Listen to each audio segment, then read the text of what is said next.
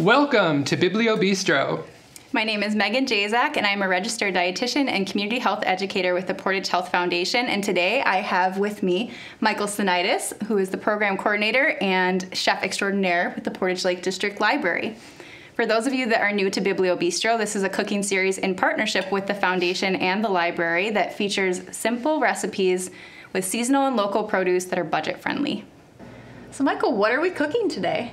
We are cooking an asparagus and bok choy frittata. Ooh, yum. I know. So, things that you can find at the farmer's market for this recipe includes eggs, green onions, or they're also called scallions, bok choy, asparagus, which may or may not be easy to find, and garlic. And the things you'll need from the grocery store are going to be olive oil, ginger root, which is optional, and sesame oil, which is also optional. So, Megan, oh, why did you pick this recipe? That's a great question, Michael. You know, I would say the biggest reason that I picked this is that it's a quick, easy meal. Sure. It could be used at breakfast. You know, I think eggs are commonly thought of as a breakfast dish, but it's unique enough with the ginger, the green onions, and some of the veggies. You could easily have this as a quick weeknight dinner. Mm. And it's nutritious. It's packed all, with all sorts of goodies, which we'll get into in a little bit. Cool.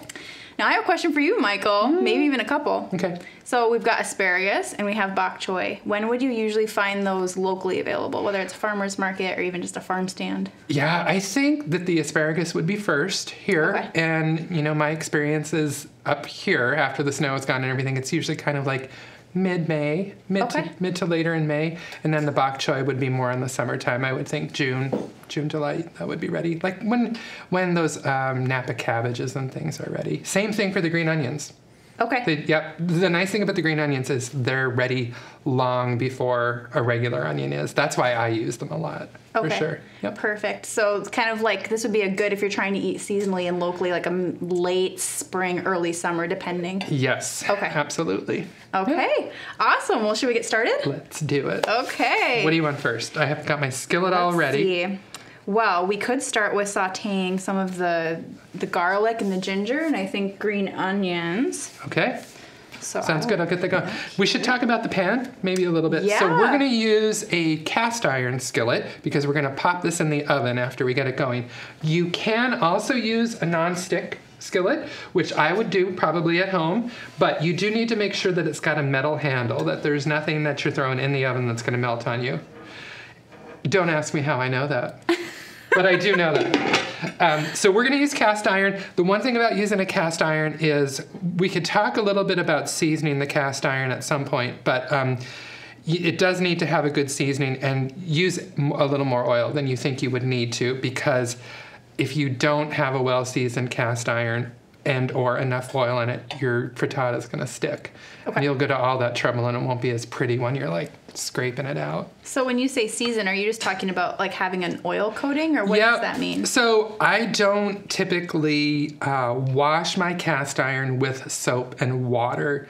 I rinse it, maybe take a scrubby with no soap to it with just water, and then dry it well, and then I'll give it a little coating of oil and a paper towel and put it away that way. Now, if I were cooking something, um, frying pork chops, which I love to do in a cast iron skillet, then you have to do a bit more cleaning, but then I'll do the same thing. Um, this cast iron I've had my whole adult life, so it's it's well seasoned. But um, if you're going to use soap and water on it, you're going to need to pay a little more attention to it. But Okay. try to avoid it if you can. Yeah. Yep. Thanks. No, that's really And helpful. cast iron doesn't like acid, okay. so uh, no bueno on the tomato products. Okay. No lemon juice or things like no, that. no. Okay. Cook your cook your pasta sauce in a stainless pan. Okay. Don't do it in your skillet. In your cast iron. Well, that's good to know. Yeah. Here we go. How much oil? Let's see. They simply say Some. the olive oil. Let's see. Um, I'm going for it. two tablespoons. Perfect. That's, that's where we're at. And like I said, I'm going to give it a little more because um, I don't want our frittata to stick. And I'm going to get it all up on the sides and everything too, like that. Perfect. Okay, garlic and ginger. Yes. So we need one clove of garlic minced, Okay. and then we need. Where's the? Oh yeah, one teaspoon of freshly grated ginger. Okay. Oh, and you brought that fancy little. A little microplane. Yeah, Yes. that's good. I love this. Yeah, I use that for so many different things. Do you want me to zest this or, or grate it for you? Shh, Go for it. Okay. You can go. I mean, do you want to go right in the pan? Yeah. You can. Yeah, why not? Why not? It's right. So the garlic is optional, um, but we think that it's going to add a nice little extra flavor to it. Especially bok choy is kind of like an Asian green. Would you say that's a correct classification? Mm-hmm. Yeah. So it kind of adds a little bit of an Asian twist. It'll go well together for sure. Here you go. I'm gonna I'm gonna save you because that's the one thing about the plane. Yes. You gotta you gotta get all the good stuff out of there. Whoa, hey, I smell the garlic already. So I did get the pan hot enough. That's the other thing about the um, I'm gonna need to get cracking here, Megan. That's the other thing about the cast iron. It does take longer to heat up, but it holds its heat longer. So I'm actually gonna take that off the burner so I don't burn the garlic till we're ready. Okay, and then it says to add the green onions, so we want those sliced, including the green tops. Okay, how many of those do you want? We want three. Okie dokie. So you did such a nice job of cleaning these up for me. I'm just gonna take the ends off. Okay. And just a little away there. You know, I like that um, you said that this would make a great dinner, a quick dinner, because I do that all the time.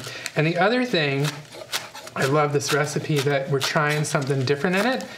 You can make a frittata with anything you have in the kitchen, refrigerator. Like, you know, Oh yeah. it's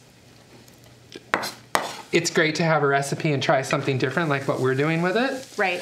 Because I've actually never thrown bok choy in a frittata before, but um, it's great for cleaning out the fridge. Right. You don't have to go to the grocery store. You can just be like, what do I have in there? As long as you have eggs and some vegetables, you're good to go. Yeah, and they're kind of like a, I'd call it like a low key cousin to like a, a quiche or something. So, Yep. you know, a quiche, what- I mean, let's be real, crust is different. You know, this is a crustless. You're not going to get the, the same um, exact type of recipe, but it's a lot quicker to do this. Right.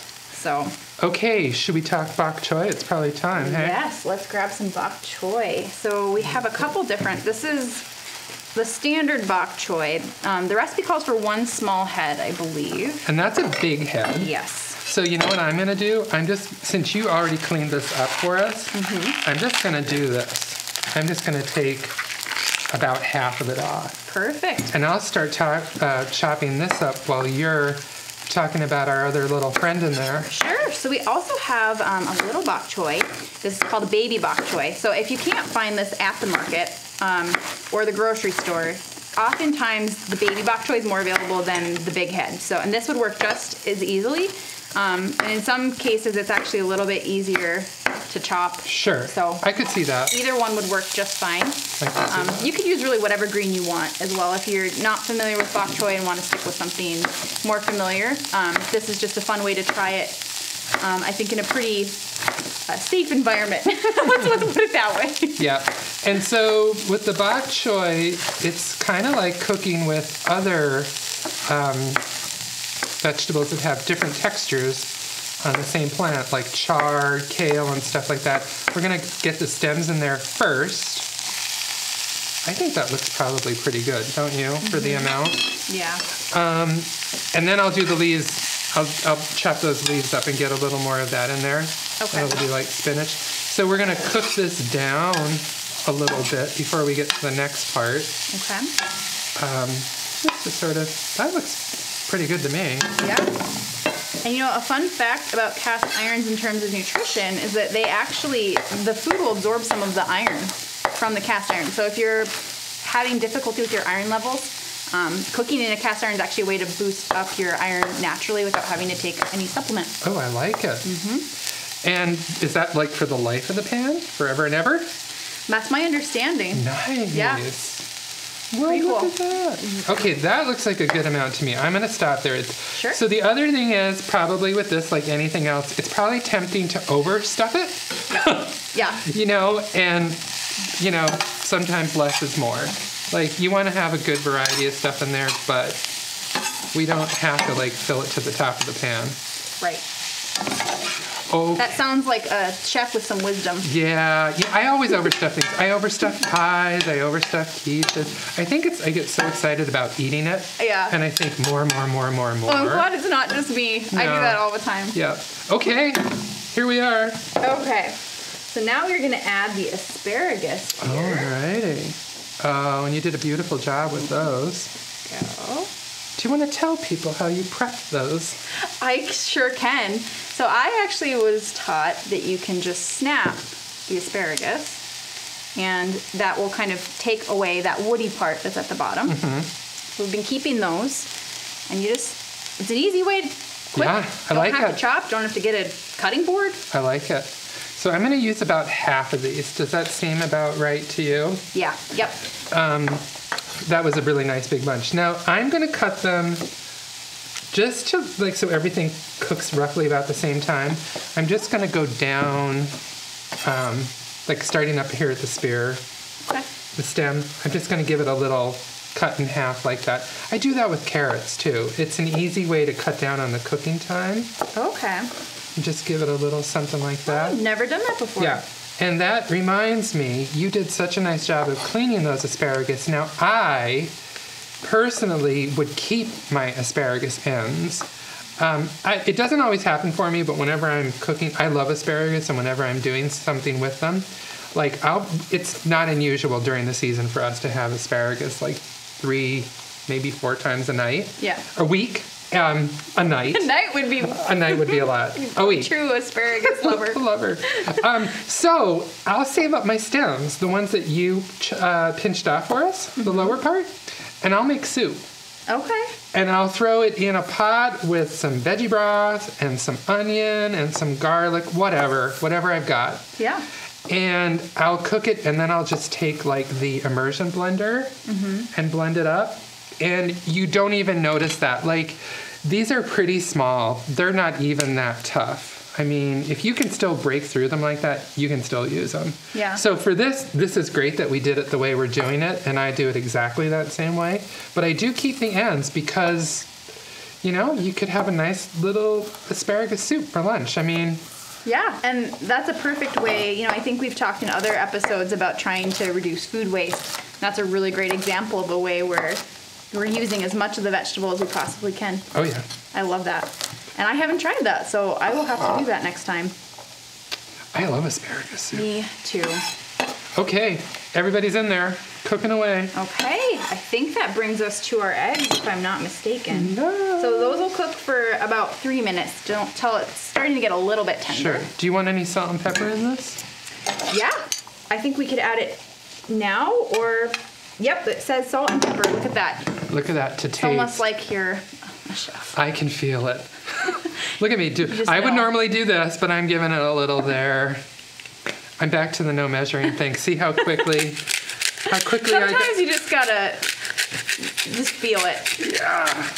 I was just dying. it. I hid the measuring spoons on you again. Now, I am, since I got a lot of stuff in there, I am going to give it a little more oil. That's because I really don't want this to stick on us. And I actually didn't haven't used this pan in a little while. So, we'll just give it another little, little splurge. Now it's time to get cracking on the eggs. It is. Can you crack an egg with one hand? Ah. I'm not trying to put you on the spot. I'm just genuinely curious. I can't do it. Uh, My my I- godmother's tried to teach me many times. Should I try it? You can. What's the worst that could happen, right?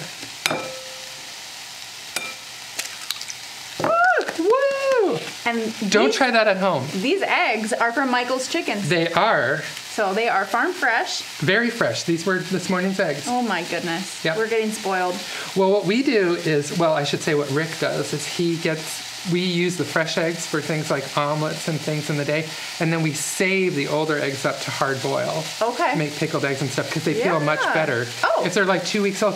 I think when we get, um, I'm going to scooch in here for a Oh, sure. second. I think when we get eggs from the store, they're probably already a week or so older, maybe older than that. Great. But they just don't peel very well when they're fresh. So we save them for about two weeks because they're super fresh. Yeah. So this is how I just do them at home. I just smash yeah, one on the other one. quick. Yeah. okay. Yeah. So the girls were busy this morning. Yeah. Well, we'll have to thank them. Those yolks are nice and bright. Mm-hmm. And yolks are actually a really good nutritious source, so I would recommend keeping that in. Um, in the past, that was recommended by a lot of um, medical professionals that you avoid the yolks or you limit it per week, um, and that was mainly because they they thought that it raised your risk of cardiovascular disease. But there have been more recent studies that have shown that's not the case, especially for farm-raised eggs. Um, so we're good there, and they've got tons of nice, heart healthy, actually fats. Yeah. So it's actually good for your heart in a lot of cases, and it's actually got some naturally occurring vitamin D, which is hard to come by in a lot of foods. So Awesome. eat the yolks, guys. They're delicious. Eat the yolks. You heard it And they're here. nutritious. Yep. And you heard it from a registered dietitian. So, you know, we're all good. You're all good. Okay, are you ready for the eggs? Yes. Do you want me to whisk away with the fork? I could do that for you if you want, since I didn't want to mess around with a, I do this at home. a too. whisk. A fork's fine, folks. I mean, if you want to get a whisk dirty and you want to clean it, totally go for it. But nothing wrong with a fork. No. It's a lot easier to clean. Yep. And for the asparagus and the bok choy, those two veggies in particular actually have similar nutritional profiles. They are high in vitamin C as well as vitamin E.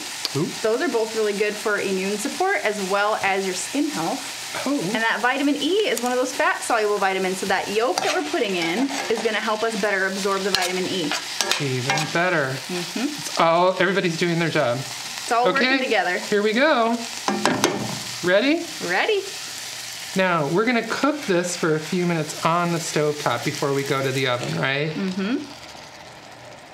Ooh. Yeah, so the recipe calls for you to keep it on the stove top until the edges are just starting to set and cook a little bit. Okay. Um, and then after that, I think they say that's about two minutes. And then we'll transfer it to the oven. It's at 325 and it says for about 20 to 25 minutes. We'll put it in the oven and then we'll take it out and we'll eat. Well, I have good news. It's already cooking. Beautiful. Won't be long. We can throw it in the oven. We'll drizzle sesame oil. That's another optional piece. Um, and we'll drizzle that on the top once it's cooked. Okay. So yeah, Oh. we are doing well. That's- you could also this isn't in the recipe, but I imagine correct me if I'm wrong, Michael. If you wanted a little bit of heat, you could put like red pepper flakes or something like that. Oh yeah, for sure. That would work That would be super. perfectly well. That would be super yummy. And this doesn't have any dairy in it, so for those that have um, milk allergies or are lactose intolerant, this would be a good recipe for Right. those folks. Um, you could also add cheese if you were missing it too. Yeah.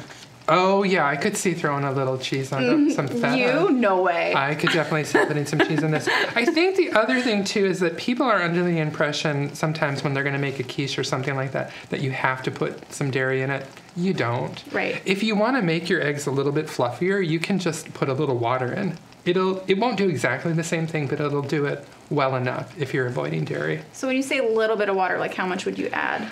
Gosh, in there maybe I would have put like less than a quarter cup.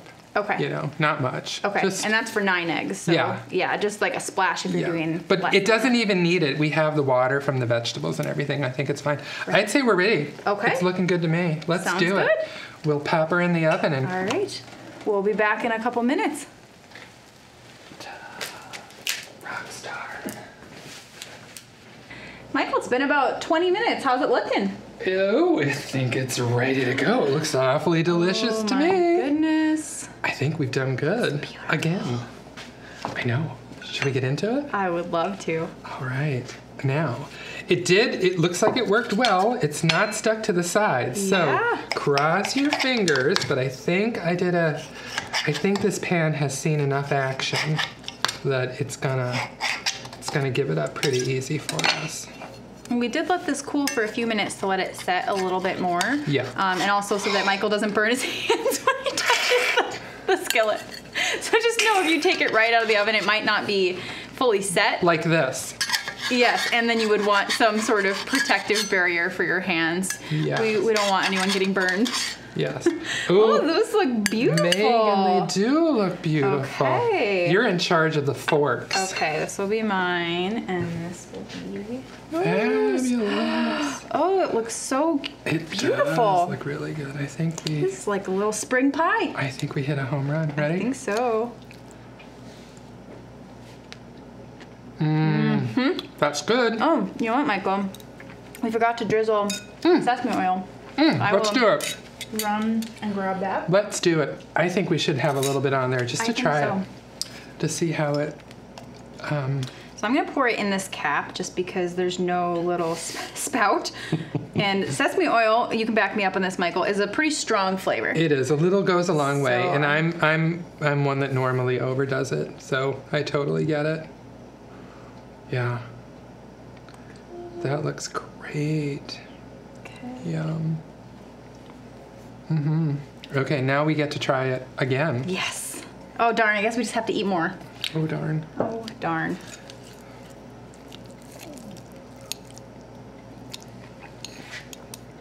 Mmm. I like it. Mmm. That definitely adds to it. It does. Look, I have a little asparagus poking up. It's so cute. It's so yummy. This is like the perfect spring. Yeah, I think the sesame oil like adds a little bit of nuttiness to it. Mm-hmm. But it would be totally delicious without it. So if sesame is not your thing or even allergy, you could easily leave that out. But we like it. Mm, I'm eating all of mine. Yeah. Thanks for joining us for another episode of Biblio Bistro. If you'd like to tune in and see our other episodes as well as get the shopping list and the full recipe, you can go to pldl.org slash biblio-bistro. And for any additional information you're looking for on the recipe, whether that's the price per serving, um, and information about local farmers market, you can click the show notes, which is on the YouTube page as well, which is on that PLDL website. And if you want to share any pictures of when you're using the recipes, um, you can just use the hashtag BiblioBistro um, on any social media that you use. Until next time, bon, Bon appetit. appetit.